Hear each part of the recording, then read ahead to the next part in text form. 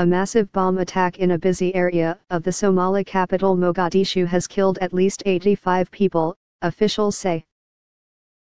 Dozens more were wounded when a lorry packed with explosives detonated near the entrance of a hotel. Police say two people were killed in a second bomb attack in the Medina district of the city. It is not clear who staged the attacks. Mogadishu is a regular target for the Al-Qaeda-linked Al-Shabaab group, which is battling the government. President Mohammed Abdullahi Farmajo Mohammed has declared three days of mourning for the victims of the blast. Local media reported families were gathering in the area on Sunday morning, looking for missing loved ones amidst the ruins of one of the largest bombs ever to strike the city. After the first blast, Police Captain Mohammed Hussein told Reuters news agency, it was a truck bomb.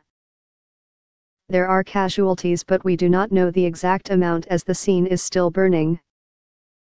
Witnesses told the BBC they believed dozens of people were dead.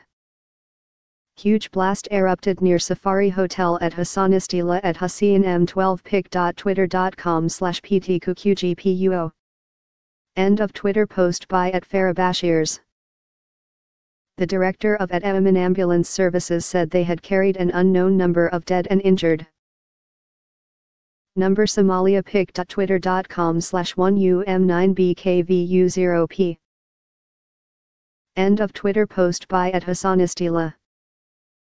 A BBC Somali reporter at the scene said the Safari Hotel had collapsed, with people thought to be trapped under the rubble.